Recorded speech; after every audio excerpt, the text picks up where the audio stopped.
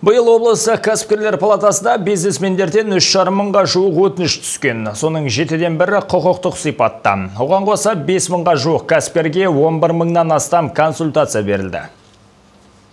Былтырдан бері облыстық кәсіпкерлер палатасы жанындағы кәсіпкерлердің құқығын қорғау кеңесі 22 отырыс өткізіп, 37 бизнес субъектісінің құқығын қорғапты. Мәселелердің көбі жер және салыққа қатысты. Палата на сегодняшний день обрела... Кәсіпкерлік субъектілерін қорғау мақсатында түрлі органдармен барлығы 37 меморандум жасалды. Бүгінде облысымызда жиі көтерілетін 400 сұрақ жіті назарға алынды. 23 әкімшілік кедергі анықталып, оның 16-сы оң шешімін тапты. Аймақта кәсіпкерлер палатасы бизнесмендердің мүддесін қорғап қана қоймай, сонымен қатар оларға оқыту курстарын өткізіп, істерін дамытуға септеседі. По нефинансовой поддержке Биыл 5 мыңға жуық бизнесменге 11 мыңнан астам консультация берілді. Бизнес мектеп жобасы аясында бір жарым мың тыңдаушы қысқа мерзімді курстан өтті. Соның 31-і мүгедек, олардың тең жартысы кәсібін жаңадан ашты.